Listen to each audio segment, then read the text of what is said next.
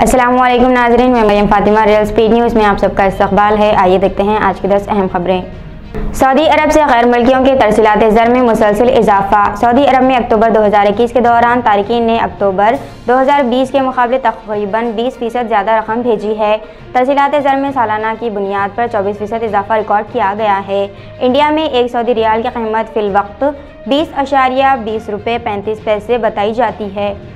سعودی film اور cinema کے شعبے کی ترقی کے لیے نئی حکمت عملی۔ سعودی عرب فلم کمیشن نے دارالحکومت ریاض میں منعقدہ ایک تقریب میں مملکت کے فلم اور سنیما کے شعبے کی ترقی کے لیے اپنی حکمت عملی کا آغاز کیا ہے۔ عرب نیوز کے مطابق، یہ تقریب وزیر ثقافت اور کمیشن کے چیئرمین شہزادہ بدر بن عبداللہ بن ریحان کی سرپرستی میں منعقد ہوئی۔ پارلیمنٹ کے سرمایہ اجلاس میں ہوا ہنگامہ بارہ ایم پیز معطلی کی صف میں پارلیمنٹ کے مانسون اجلاس میں چوکا دینے والے مناظر سامنے آئے۔ حکومت کی جانب سے بارہ اپوزیشن ممبران کو پارلیمنٹ سے بدتمیزی کی وجہ سے معطل کرنے پر مجبور کیا گیا۔ اس پر پارلیمان امور کے وزیر فلرحات جوشی نے کہا، اگر یہ ممبران معافی مانگتے ہیں تو اس کو منسوخ کرنے پر غور کیا جا سکتا ہے۔ وزیر اعلیٰ اروند کیجریوال نے پی ایم سے خواہش کی کہ وہ اومیکرون نئے ویرین کے پیش نظر بین الاقوامی پروازوں پر پابندی لگائے۔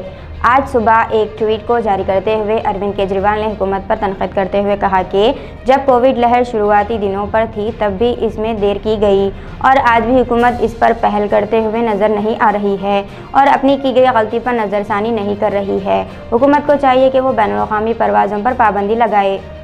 بابری مسجد کے بعد ایک نئی کوشش قطب مینار مسجد قوت الاسلام پر، جس کا دعویٰ کو عدالت نے خارج کر دیا۔ مسجد القوت الاسلام قطب مینار اب نشانے پر تھی، جہاں دعویٰ کیا گیا کہ مندروں کی مورتیاں اس ملبے میں ملی۔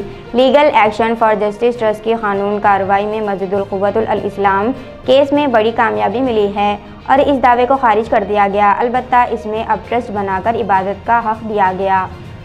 Vice admiral R Hari Kumar آج سنبھال لیں گے بحریہ کا عہدہ۔ وزارت دفاع نے نومبر کو ایک بیان میں کہا کہ حکومت vice admiral R Hari Kumar کو تیس نومبر کی دوپہر سے بحریہ کا اگلا سربراہ مقرر کرے گی۔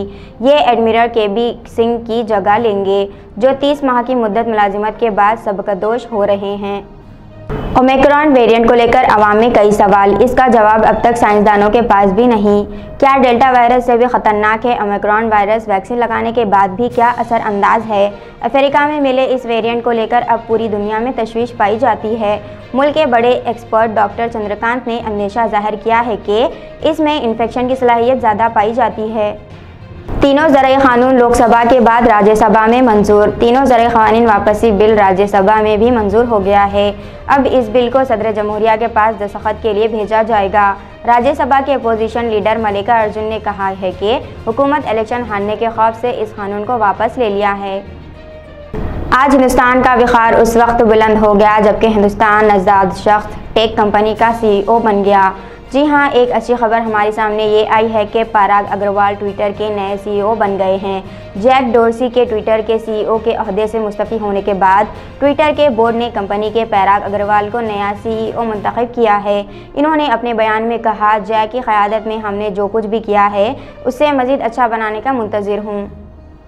فہا کشی میں ہندوستان، پاکستان اور بنگلہ دیش سے بھی آگے چیف منسٹر چندر شیکھر راؤ۔ تلنگانہ کے چیف منسٹر چندر شیکھر راؤ نے کہا کہ سات برسوں میں نریندر مودی حکومت نے اسی لاکھ کروڑ روپے کا مخروض بنا دیا ہے۔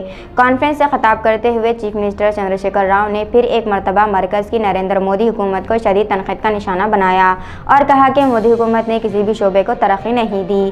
انہوں نے کہا کہ پاکستان اور بنگلہ دیش سے زیادہ فہا کشی ہندوستان میں ہیں۔ تو یہ تھی ناظرین آج کی دس اہم خبریں۔ ایسے ہی اہم خبروں کے لیے ہمارے چینل کو لائک، شیئر اور سبسکرائب کرنا نہ بھولیں۔ اب مجھے دیجیے اجازت۔ اللہ حافظ۔